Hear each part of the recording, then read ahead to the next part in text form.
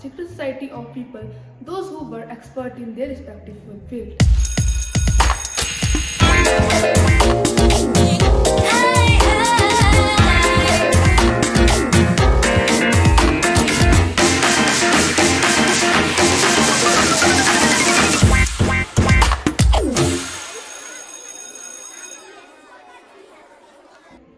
Hello there, gentlemen. So, how are you doing?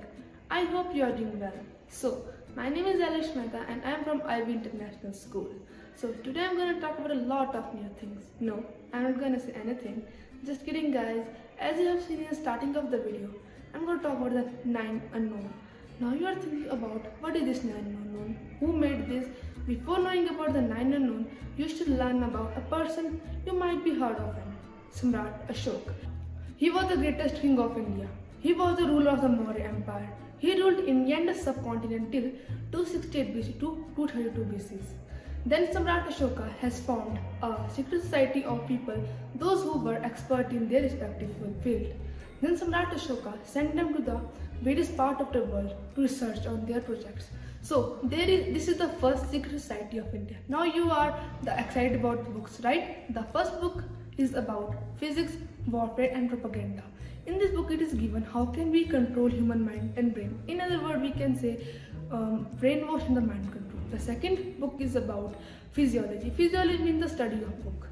But this book is the most dangerous book. If someone read this book very carefully, he or she might be kill anyone by simply touching. This is touch of, touch of that occur when the weakest point of human body reverses the impulses. So person might get paralyzed on that. The microbiology is the subject of the third book. In this book, it is, it is given about how can human destroy his anthropology by a small disease. In this book, it is given, given about human life cycle very deep, deeply. The fourth book is about alchemy and the metal transmission. In this, it, is given about that how can we convert any metal into gold in very deeply. The fifth book it is about communication. In the various way, it is given about human com communication as well as alien communication. The sixth book is about cosmogen. Cosmogen means universe. And the seventh book is about gravity. That gravity, you all know how it works. The eighth one is about um, light and the, how the speed of light works and how can we use light or speed as a weapon. The ninth and the final one is about sociology. It is given a civili human civilization Myers and the doom of the other societies. So that is it about nine unknowns. So there are two theories about these nine unknowns. First theory is about that they given those books the people like them and second theory is about that they make a sort of chemical that can stop their aging. So I hope you like the video and tell me in comment that which theory you prefer. I have to prefer first theory because second theory doesn't make any sense.